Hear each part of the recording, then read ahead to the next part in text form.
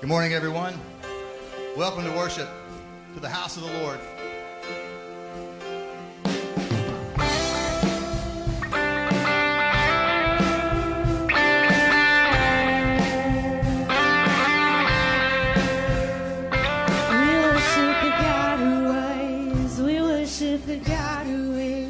Worship the God who evermore will be. He opened the prison doors.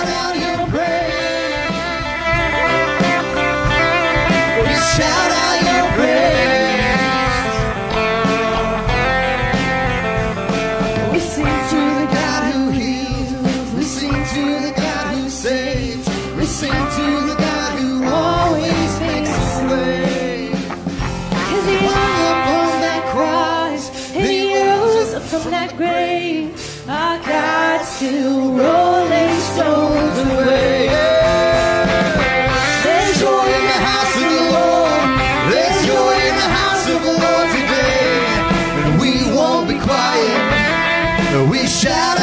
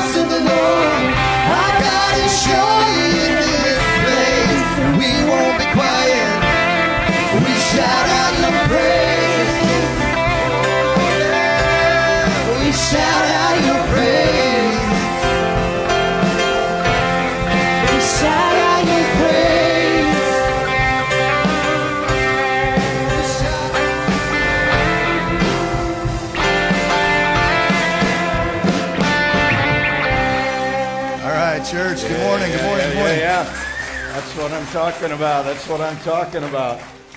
Welcome, church. There is joy in the house of the Lord today. Yes, there is. You know, we're, we're uh, gifted and uh, thankful that we have Pastor Mitch here that's going to help us with worship along with Billy and this great praise band. Thank you for being here. Want to welcome everybody. There's joy in the house of the Lord. We have a lot of reasons to be joyful. If you're new this morning, welcome. We're glad you're here. If this is your home church, welcome home. It's great to be here. and I want to wish you all a Merry Christmas and a Happy New Year as we look forward to it. Always want to do our commercial. We have connect cards for those that don't haven't connected with us. We just want your information. We don't do a lot of announcements because we want to spend our time in the house of the Lord praising God. So I encourage you, if you're new, that you fill out uh, the connect card with your information. There's also some prayer requests. There's also a way of giving. None of us carry cash anymore, but you can uh, use your phone and uh, give a donation that way. So I'm excited about being, being here this morning. It's great to see this great crowd. We only have one service this morning, and, and this is wonderful. So, uh, would you uh, please uh, stand with me? And I want you to uh, fist bump the people around you and just say, hey, it's great having you here this morning. morning.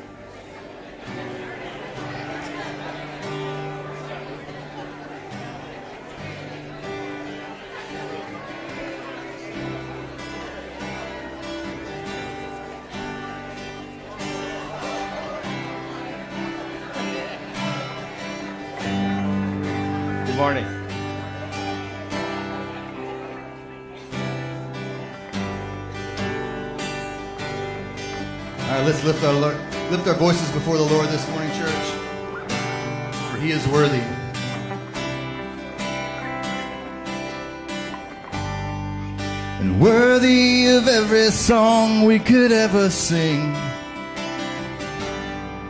And worthy of all the praise we could ever bring. Worthy of every breath we could ever breathe. We live for you. Oh, we live for you. Jesus, the name above every other name. The only one who could ever save. Worthy of every breath we could ever breathe. We live for you. Oh, we live for you.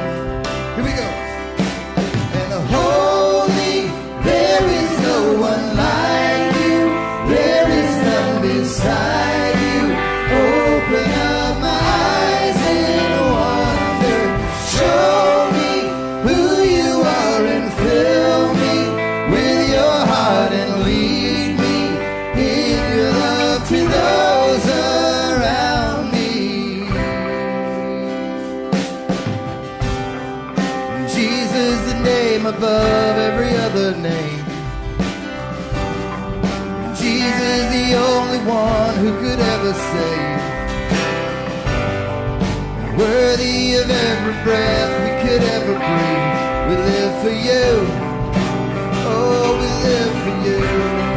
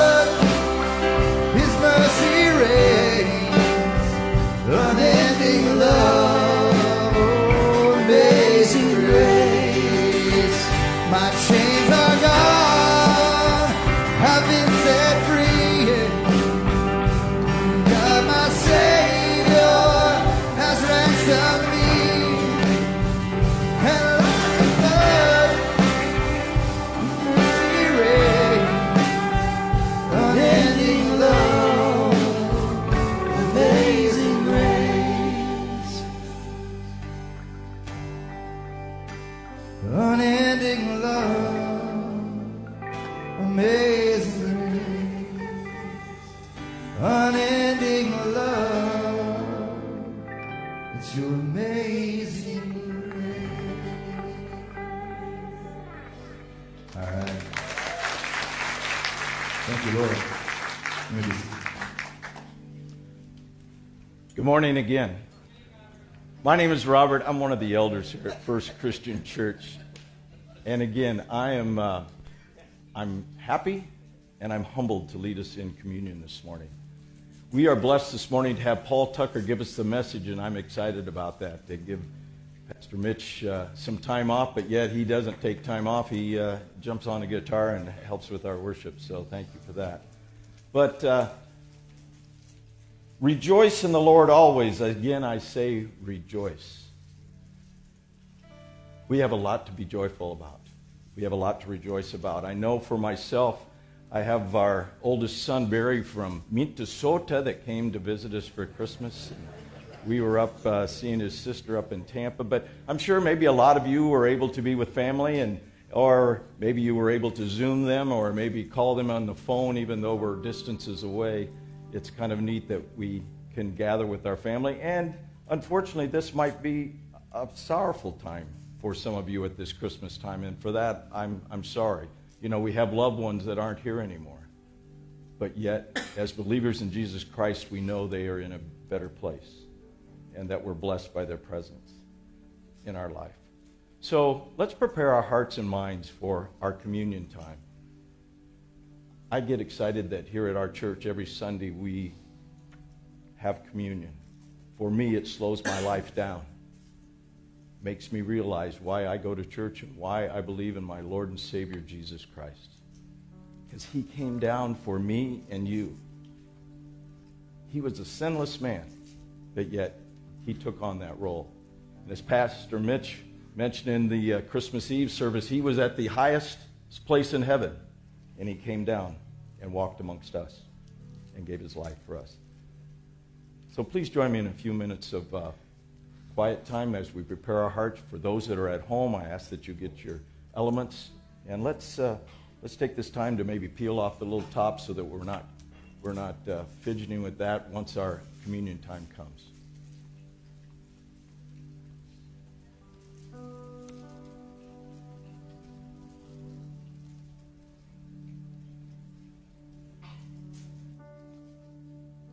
In Matthew 26, verses 26 through 29. It says, While they were eating, Jesus took bread. He gave thanks. He broke it. And he said, Take and eat. This is my body.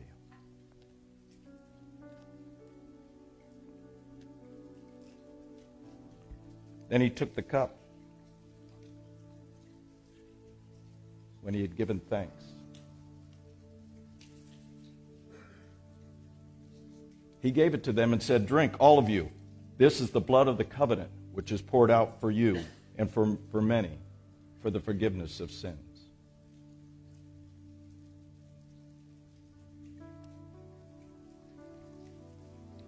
He said, I tell you, I will not drink of the fruit of the vine until the day I drink it anew with my Father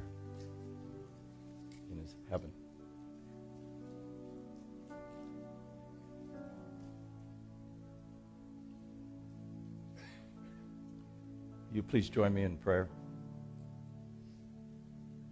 Heavenly Father, Father God, we thank you for this day that we can join in your house and make a joyful noise for you.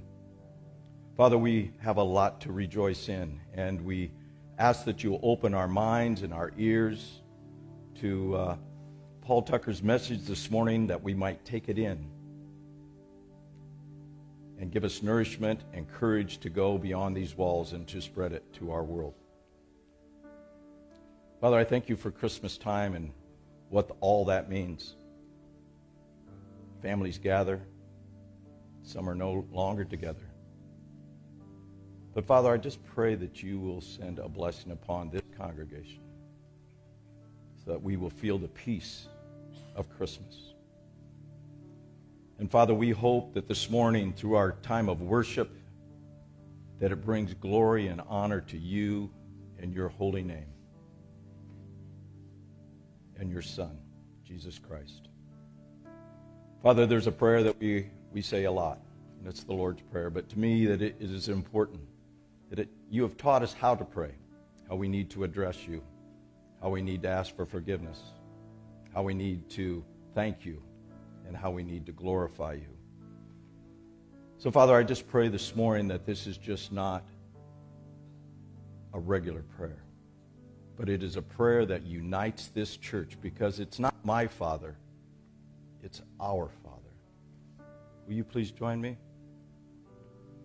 Our Father, who art in heaven, hallowed be thy name. Thy kingdom come, thy will be done, on earth as it is in heaven. Give us this day our daily bread, and forgive us our debts. We forgive our debtors. And lead us not into temptation, but deliver us from evil. For thine is the kingdom, and the power, and the glory, forever and ever.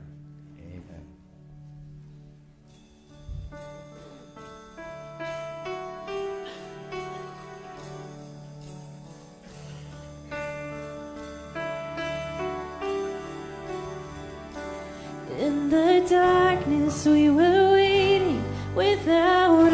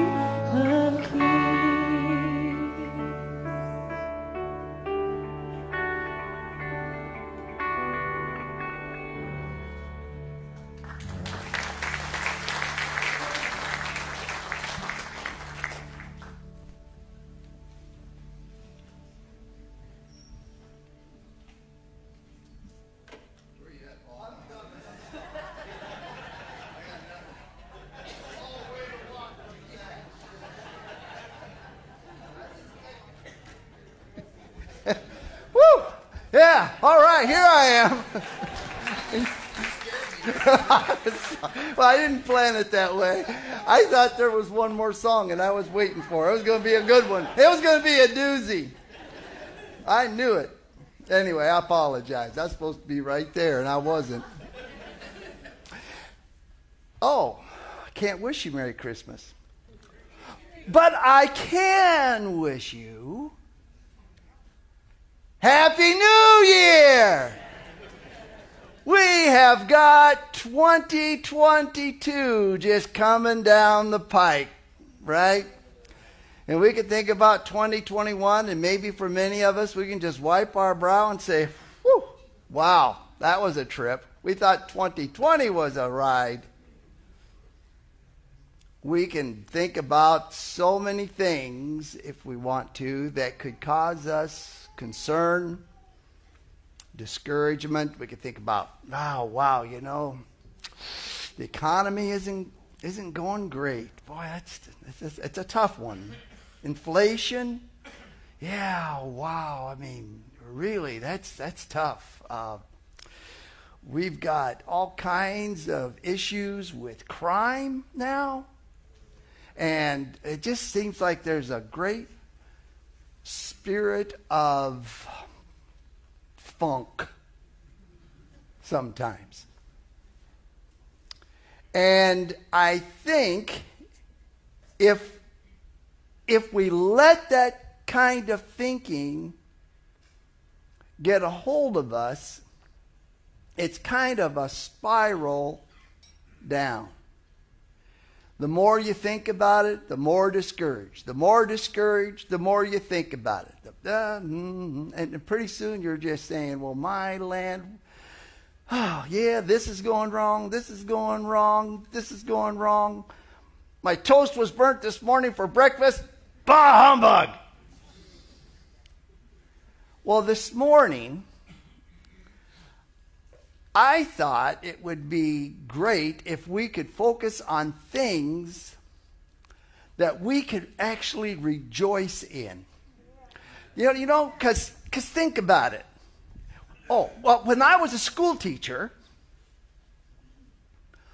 a long time ago, at the end of the semester, the first semester, Christmas break, when you come back, uh, sometimes we'd have our semester exams, but sometimes it was just the end of everything for the first semester. And here we have a brand new semester. And I'd show the kids, and they were fourth graders, so they were easily impressed. And I'd say, Look at this grade book. Remember all those grades you weren't happy with last semester? Gone. What you did last semester maybe didn't work as hard as you should have academically. Maybe you goofed off a little bit on this, a little bit on that. Gone. Look at the fresh, clean, new page for the next new semester. And now you have to decide how you're going to fill the pages. So that's kind of how I was thinking about 2022. Unfortunately, we're always going to have challenges. And probably more than we like to think, the toast is going to burn for breakfast. The oatmeal is going to stick to the bottom of the pan. It, it does, I know. And, uh, it, uh, and things may not always go the way we would like to go. And if we allow it, because you know the devil loves it when things don't go our way and we become discouraged, right? He thinks, all right, I just got that little in there. That's exactly what I want to do, and that's what I'm going to do. And that's what we sometimes fall into the trap. So I was thinking, man, the importance of celebrating. How important it is. I love the songs we sang this morning. Oh, how great it is to rejoice and be glad in the Lord. Because we have so much to rejoice and be glad about. Rejoicing. Like gratitude, rejoicing is an attitude. And like rejoicing, it's an action. And because it is an action, it requires us to make a conscious decision that that's what we're going to do. And there have been times in my life sitting down going, wow, I'm kind of bummed, you know, because this isn't right and this isn't right. And then I remember back when I was doing children's church many, many, many, many years ago, there was a little song we'd sing with the kids. Count your blessings. Yeah. Count your blessings. Name them one by one. And you will be surprised. And you will. You'll be surprised to see what God has done. And so I would start. Well, just what has God done in my life? What is it that I can rejoice in? What is it that I can be thankful for? And I just did this exercise just a couple of days ago. And it was just interesting how once I started thinking about the goodness of God and His blessings, even in times of difficulty, I could honestly say that God lifted my spirits because God made me realize that as a child of His, I am greatly blessed.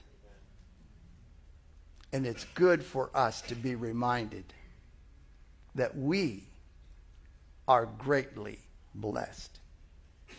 Trials will come, trials will go, difficulties will always be with us. There's going to be challenges that we're going to be facing all the time. That's not going to go away. But how we choose to live in the midst of it is what we're going to be talking about this morning. The drawback in rejoicing is too often we focus on the difficulties, the disappointments, the ups, the downs in our lives. I know Oh, God bless your hearts. I know some of you are dealing with some really big things in your life. I understand that. I'm not trying to be flip, flip, flippant, excuse me, or be casual about it, or make light of the things that you're going through. But I do want you to know that God is very much aware of where you're hurting and what you're having to deal with. He's not turned a blind eye. He's not closed his ears to it. And he certainly, certainly hasn't shut his heart off. He's very, very, very much concerned and desiring to be a ministering agent in your life, even in these difficult times. So, there are four things I want us to think about. I'm going to be talking, first of all, about salvation because it is the most important of all. It's what all the others that I'm going to be talking about hinge on. Those of us who have come to Christ, have accepted Him as our Savior, have the realization that without Him, we're nothing. And without Him, we have nothing. Right? Yeah. Therefore, because of our relationship with Christ, because of our relationship with Christ, we can rejoice. Jesus told his disciples in Luke 10 20, You need to rejoice because your names are registered in heaven. And to illustrate this thought, Jesus in Luke chapter 15 gave three illustrations. And the first one is the parable of the lost sheep. And this is where the shepherd leaves the 99 to go search for the one sheep that strayed. And when he found him, he to- found the sheep. He told everybody, Hey, I found my lost sheep. And there was great rejoicing. In Luke 15 7, in reference to that, Jesus said, In the same way, there is more joy in heaven over one lost sinner who repents and returns to God. The second is when a woman loses a coin in the house. And she goes and she looks underneath the pillows on the couch. She goes and tears the beds apart looking for it. She looks, sweeps underneath the tables and the chairs, and she just cleans the house from top to bottom, stem to stern, front to back, up and down. She's looking for that coin. And finally, there it is. And she picks it up and she runs and tells her family and friends and her neighbors and says, Oh man, I found it! I found it! I found it! And everybody was so very, very happy for her. And then Jesus says, in the same way, that excitement, that thrill, that blessing, that rejoicing, in the same way, there is joy in the presence of God's angels when even one sinner repents. Now, the third story, the third parable Jesus gave was the prodigal son who takes his inheritance and he says, uh, "Yeah, you know the story, Dad. You know, I want to, I want to leave. You know, just give me what belongs to me of the inheritance, and and I'll be out of here and spend a great life here. Thanks a lot. Goodbye. See ya." So the father goes, "Well, okay, if that's really what you want." Gives the son half of his inheritance, give the inheritance to him, his portion of it, and off the kid goes. And of course, there's that riotous living he does, and he has a bunch of friends while he has money, and there's a bunch of partying while he has money, and then finally he runs out of money. Runs out of money, runs out of friends. Runs out of money, has no way to make a living, so what does he end up doing? Ends up in a pigsty, and he's wallowing in self pity in the pigsty and he looks around and he has an epiphany. I like that word. Illustrated by a light bulb going off over his head. There are servants in my father's house that are eating better than I am. There are serv- even the lowliest servants are eating better than I am. there are lowly servants that are dressed better than I am. And there are lowly servants in my father's house that aren't living in a pigsty like I am. I know what I'm going to do. I'm going to go back. And I'm going to tell my father, I'm sorry. I messed up. I don't deserve to be your son. Just, just let me serve as a servant. So he starts heading home. He can see the house off in the distance. And he looks, and there's someone coming toward him. And not just walking, running. And it's his father. And so this is what it says. So he returned home to his father, and while he was still a long way off, his father saw him coming because he was looking for him, filled with love and compassion. Very important. He ran to his son, embraced, and kissed him. His son said to him, Father, I've sinned against both heaven and you, and I'm no longer worthy to be called your son. But his father, he said, Quick, bring the finest robe in the house and put it on him. Let a ring on his put a ring on his finger and sandals for his feet and kill the calf, we must celebrate with a feast. Before Christ entered our lives, we were lost sheep, lost coins, lost sons. It's when we realize that without Christ we were lost and in need of being found, and we turned to Him. Then in heaven there was great rejoicing. One of my favorite passages in the Bible is Ephesians chapter 2. Gives us a very clear picture of the change that takes place in a person's life when he trusts Christ as his Savior. So I'd love to take the time just to read this because it's very, very good. Ephesians chapter 2, verses 1 through 10, made alive in Christ. Verse 1 says, Once you were dead because of your disobedience and your many sins. You used to live in sin, just like the rest of the world, world, obeying the devil, the commander of the powers of the unseen world. He is the spirit at work in the hearts of those who refuse to obey. All of us used to live that way, following the passionate desires and inclinations of our own sin nature. By our very nature, we were subject to God's anger just like everyone else. Verse 4. Two little words that just, but God. How grateful we are that God intervenes. But God is so rich in mercy, and He loved us so much that even though we were dead because of our sins, He gave us life when He raised Christ from the dead. It is only by God's grace that you've been saved. For he raised us from the dead along with Christ and seated us with him in the heavenly realms because we are united with Jesus Christ.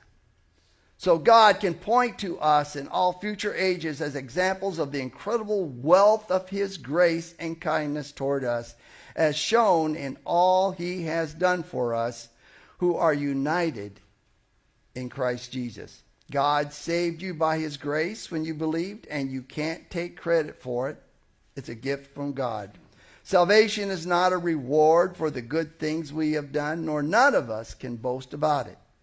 For we are God's masterpiece. He has created us anew in Christ Jesus so we can do the good things he has planned for us long ago.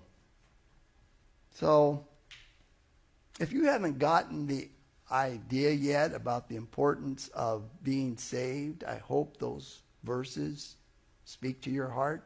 If you haven't done anything about trusting Christ as your Savior, what a great day to get that resolved, even today, right now. The Bible's very clear about the fact that none of us are guaranteed any time but the moment we're living in. Today is the day of salvation. And if you haven't trusted Christ as your Savior, what's keeping you from it?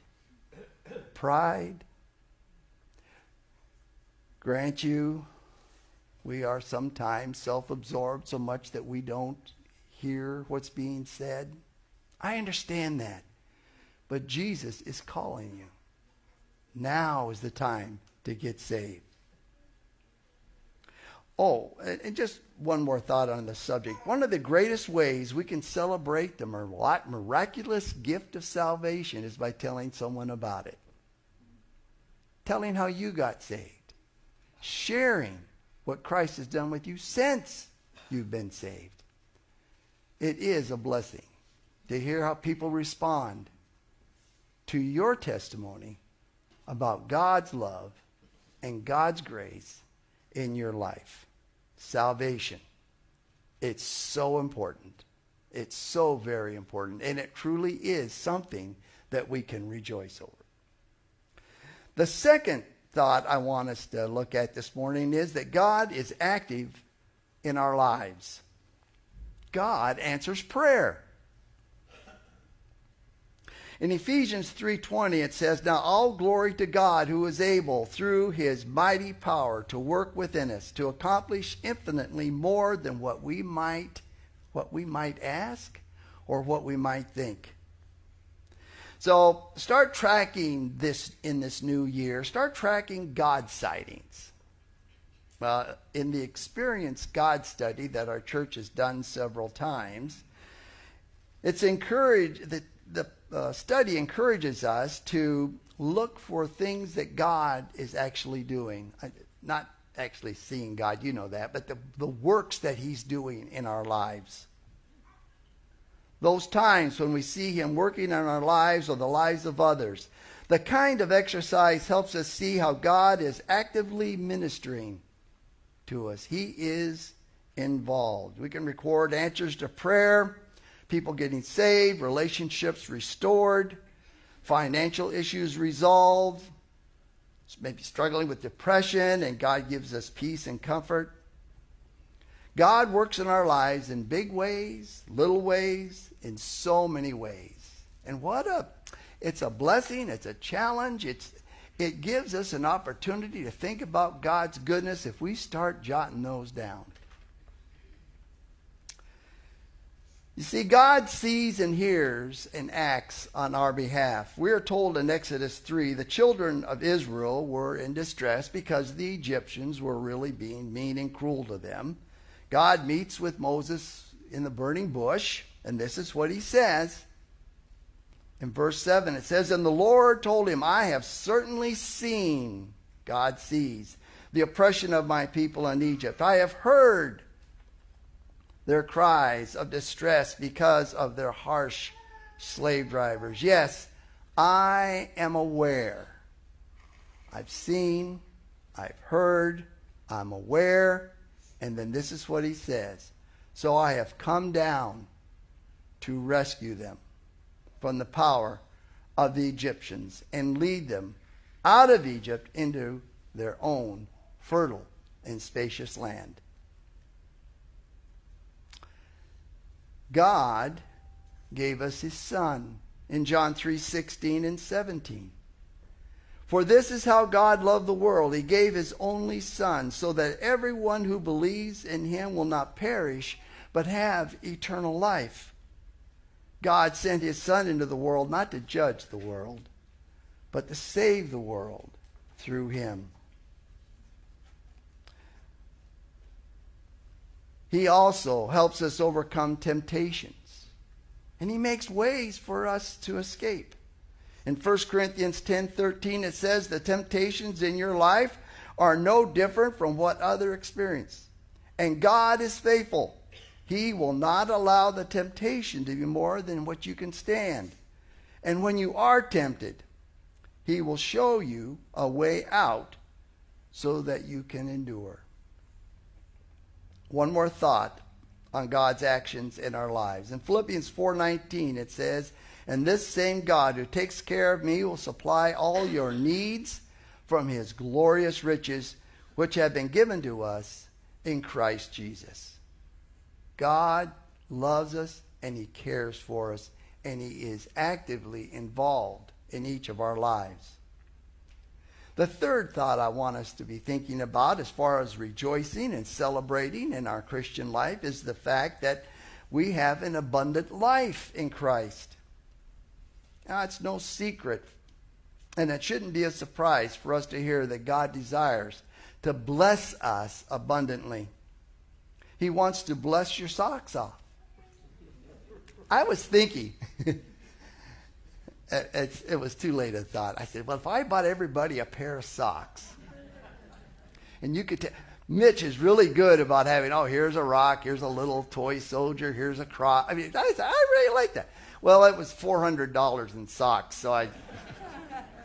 but if you have a pair at home, take one out and say, oh, yeah, because God really does care for us. He loves us. He loves us so, so much. I have to remind myself, and I tell others, that we're not an afterthought. Things in our lives aren't something that catches God off guard. He's not sitting there on his throne going, Whoa, I didn't see that one coming. No. Grasp the thought that the great creator, the God, the King of kings, the Lord of lords, in his mind, we're right here right in the forefront of his mind and of his heart. Please know that God loves you so much that he gave his son for you, for me. In Malachi 3, it says, Bring all your tithes into the storehouse, so there will be enough food in my temple.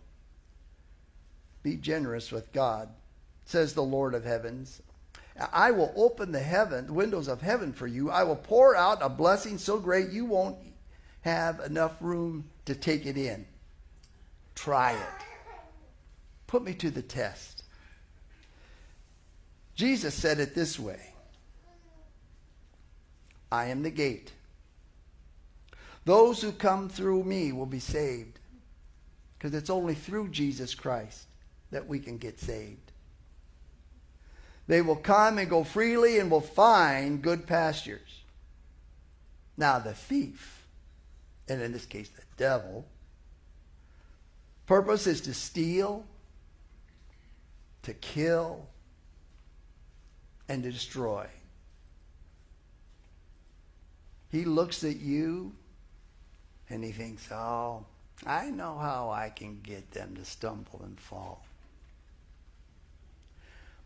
But Jesus says, My purpose is to give them a rich and satisfying life. Other translations say, to bless them abundantly. And abundant means exceedingly, very high, beyond measure, more, a quantity so abundant as to be considerably more than what anyone could possibly expect or imagine. In short, Jesus promises us a life far better than we could ever think or imagine. In 1 Corinthians 2 9, it says, No eye has seen, nor ear has heard, nor mind has conceived what God has prepared for those who love him. The apostle Paul says in Ephesians 3:20, "Now all glory to God who is able through his mighty power at work within us to accomplish infinitely more than we might ask or think." God desires to bless us abundantly. Now that I should say. Now that doesn't mean that you're going to have a Rolls Royce for every day of the week. That doesn't mean that you're going to have a four-story house uh, it's not material things that we're necessarily referring to. God wants to bless us spiritually. He wants us to understand that we can have joy because of the Holy Spirit's work in our lives. And that we can successfully get through the day with his power and his strength. Well, okay, so the fourth thing. The fourth thing is the church. This body of believers that are gathered together in this auditorium. As part of the body of Christ, we will love God and others. We will share the gospel with unbelievers. We will have fellowship with brothers and sisters in Christ. We will become more like Jesus in our fellowship in church. In other words, these five biblical purposes are met in worship, ministry, evangelism, fellowship, and discipleship. The church helps us grow. The church encourages us. We're not intended to be passive in church. You come to church, be a part realize that this is where we can be encouraged. This is where we can find comfort. This is where we can find health. We need to be at, but not only will we find we find it, but you will also be able to give it to someone else who's in need of it. It's in the church that the the uh, verses that start with love one another. There are 32, 32 passages that deal with love one another. And I thought it'd be worthwhile to mention them this morning because that's where life action happens in the church. First one is love one another. Be devoted to one another. Honor one another. Live in harmony with one another. Build up one another. Be like minded towards one another. Accept one another. Admonish one another. Greet one another. Care for one another. Serve one another. Bear one another's burdens. Forgive one another. Be patient with with one another. Speak the truth in love. Be kind and compassionate to one another. Speak to one another with psalms. Submit to one another. Consider others better than yourselves. Look to the interest of one another. Bear with one another. Teach one another. Comfort one another. Encourage one another. Exhort one another. Stir up one another to love and good works. Show hospitality to one another. Use the gifts God has given us to benefit one another. Clothe yourselves with humility towards one another. Pray for one another. Confess your faults to one another. The church, the church offers so much that we need as individuals and that we can give to others. So, in conclusion, we've talked about celebrating the blessings of being saved. Then we talked about how we ought to celebrate God's presence in our lives. Then we also mentioned He is actively working in us and through us to bring about His will. Thirdly, we talked about Christ. We have uh, His gifts of abundant living. And finally, we look at the church and the benefits that the church plays in our lives. So, in closing, I want to read another short passage that sums this up. And it says in Philippians chapter 4, verses 4 through 7 Always be full of joy in the Lord. I say again, because he wanted to repeat it, he wanted his people to hear it rejoice. Let everyone see that you are considerate in all you do. Remember, the Lord is coming soon. Don't worry about anything. Instead, pray about everything. Tell God what you need and thank Him for all He has done. Then you will experience God's peace, which exceeds anything you can understand. His peace will guard your hearts and minds as you live in Christ Jesus. Each day, proclaim the good news that He saves. Let's pray. Our dear gracious Heavenly Father, we have so much as believers to be thankful for, to rejoice in, to give thanks, to honor you, and recognize that in you we have everything. And God, I just want to thank you. Thank you for this, this dear, sweet body of believers that come together to sing your praises, to worship you. And I do pray that as they go out this week, that they will be challenged to look for your activity in their lives and that they will be quick to share the good news. For we ask it in Jesus' name. Amen. Amen. Would you rise, church? As I'm like you processing that message, I was thinking about point two was just really sticking in my head there, Paul. It was like I can't always see what God's doing while I'm in the moment. You know, I can't always see what He's doing, what He's up to can't see the works of God. Almost like I can't see the forest for the trees for what's going on in my life right now. But no matter what the circumstances are, if I look backwards a little bit, I look whether I've come through some circumstance or some challenge or whatever, maybe the greatest moment or greatest season in my life, I look back and I, I can see the faithfulness of God all over. I can see His hands all over that, you know. And then I'm reminded just how good and how faithful our God is. That, that was a that was fantastic message, and and I hope Paul that you will send me that last illustration about all the points of the church through the scripture. That was fantastic. Maybe we'll put that online or something. That'd be great because I was thinking about yeah, we do that, we do that, we do that. Oh man, I need to work on that. I need to work on that. You know. But man, our God is faithful. And then. Uh, just because I didn't get to talk very much today, so I thought I'd say one more thing. uh, so, uh, next Sunday, we're, we're going to be talking about new, new things and moving forward and in our lives and in the church. And, and then the week after that, we're going to talk about the need for community. And then the week after that, uh, January 16th, we're launching into Rooted, and I'm going to be doing a message series that'll go along uh, with that. So I hope that you'll uh, come and be a part of that. Invite your friends, invite your family and your neighbors. But let's close out with the faithfulness of God and let's worship how good our Father is.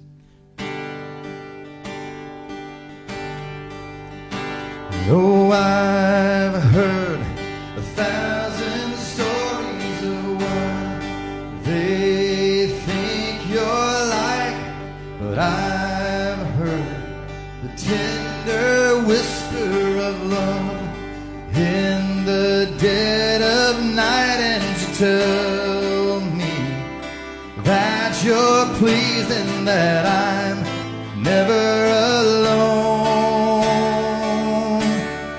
good, good father.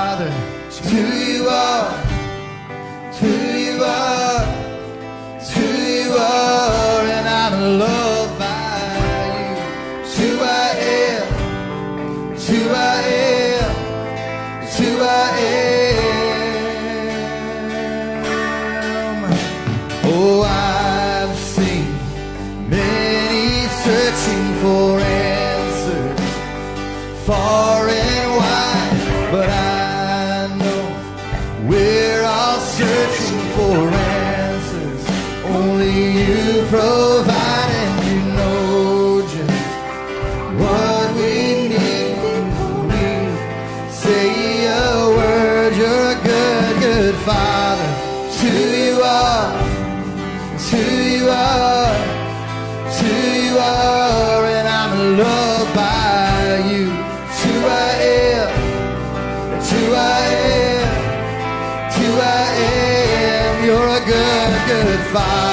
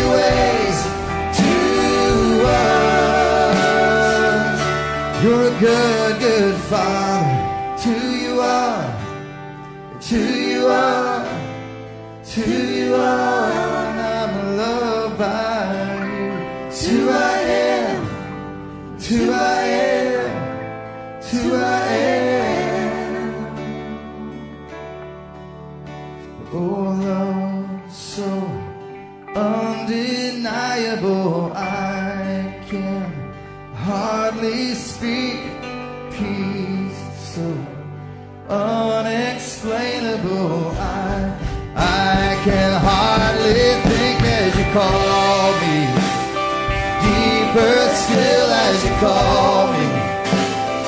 Deeper still as you call me deeper still into love. Love, love, you're a good, good father. It's who you are. It's who you are. It's who you are,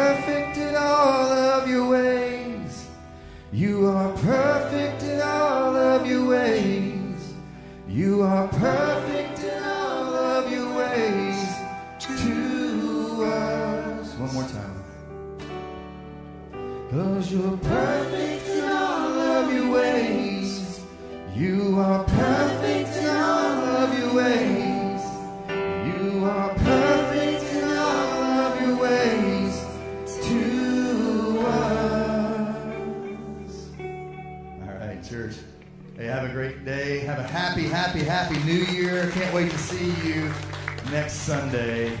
Be blessed.